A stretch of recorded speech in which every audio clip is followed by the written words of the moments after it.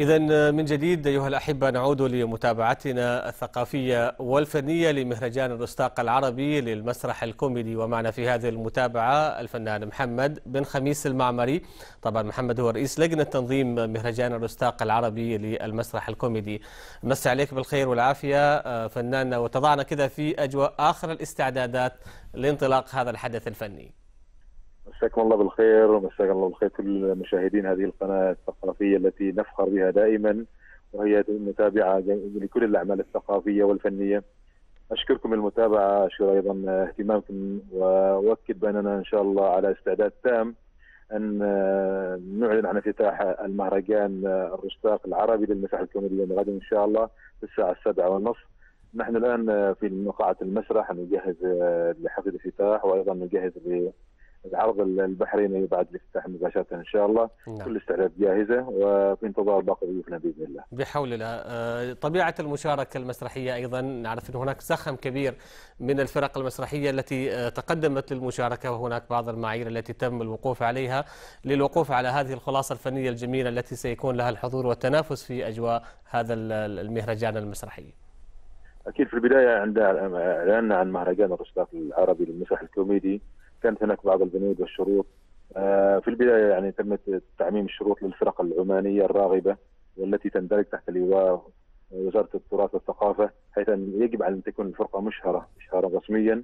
وهناك بنود بأن النص يحتوي على معايير معينة منها أن هذه من ضمن هذه المعايير ان يكون النص بعيد عن الإسفاف أن يكون كوميديا راقية أن يقدم نعم. رسالة وطنية ورسالة للشباب ورسالة من المجتمع. جميل. المتعارف عليه في مثل هذه الأمور.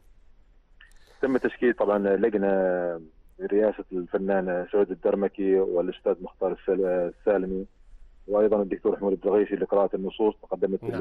15 فرقة مسرحية عمانية لهذه المسابقة تم الاختيار لتقريبا خمس فرق داخل المسابقة والفرقة الثالثة أيضا عرض موازي بانتومايم ليكون حفل الختام وارتأينا أن يكون المهرجان عربيا فتم استضافة أو دعوة فرقة من الجزائر الشقيقة وفرقة من مملكة البحرين وبكذا اكتمل إن شاء الله ثمان عروض مسرحية كوميدية بألوان مختلفة بإذن الله. هناك حضور أيضا جميل لنخبة من الأسماء الفنية كضيوف وضيوف شرف أيضا لهذا المهرجان. نعم. طبعا لا يخفى عليكم إحنا أيضا هذه المناسبة تأتي أو هذا المهرجان يأتي في شهر عزيز علينا وشهر وطني اللي هو شهر نوفمبر المجيد فأرتأينا أن نكرم 11 فنانا من الفنانين المسرحيين المتميزين سواء كان على الوطن العربي أو من السلطنة.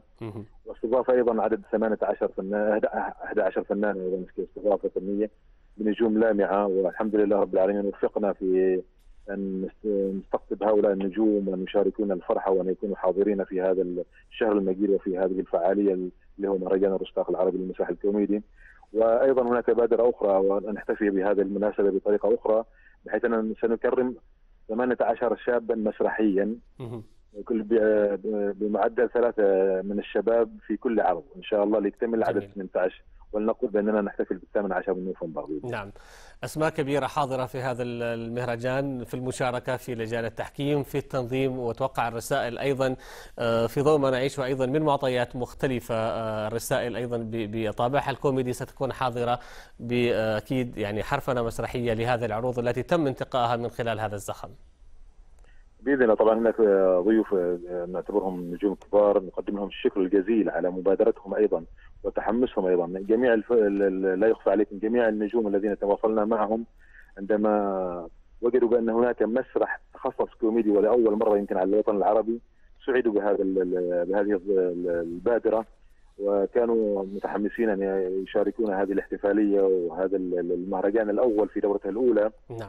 نجوم نقدم لهم الشكر الجزيل سواء كانوا من السلطنة أو من الوطن العربي. وطبعا لو استعرضنا النجوم هم فعلا نجوم ذو قيمة فنية راقية. أكيد ان المشاهد أو المتابع لهذا المهرجان سوف يستفيد. وخاصة الشباب أولئك الشباب الذين يتحاضرون بقوة في هذا المهرجان سيستفيدون من تجارب هؤلاء النجوم.